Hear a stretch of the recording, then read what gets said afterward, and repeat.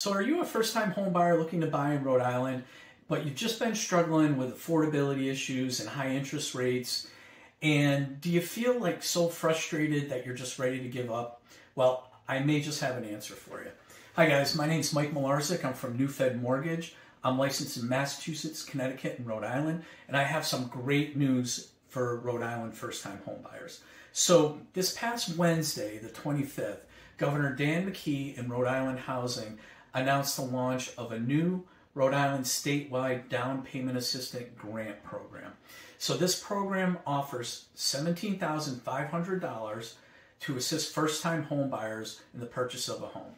And because this is a grant, if you qualify, you do not have to pay it back.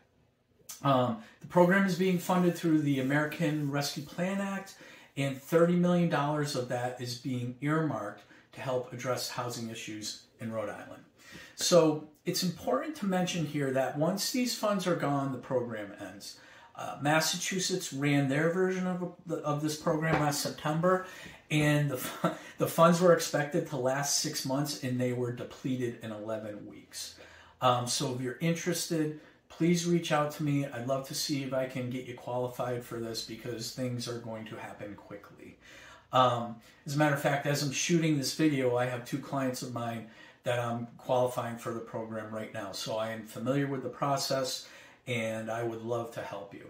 And, and just to put it in, into a little further perspective here. So I know $30 million sounds like a lot, but in reality, that equates to 1,700 home purchases. So things are going to move very quickly and time is really of the essence here. Okay, so this is a really great program. Who can qualify for it? We got six items here.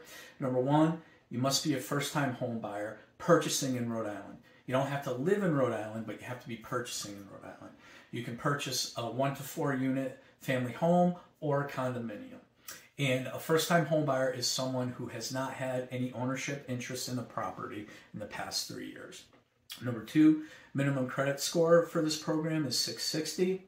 Number three, you have to meet the Rhode Island housing income limits. Okay, so for a one to two person household, that income limit is $112,555. For families of three or more people, that income limit is 129,438.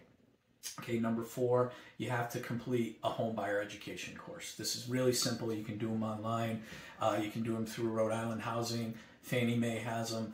Um, if we get together and you want to go through the process, I can point you in the right direction very easy, very simple to do. Okay, number five is so this is a first mortgage funded through Rhode Island Housing. And in order to receive the, this grant money, you have to go through an approved lender, which my company, New Fed Mortgage, is one of those.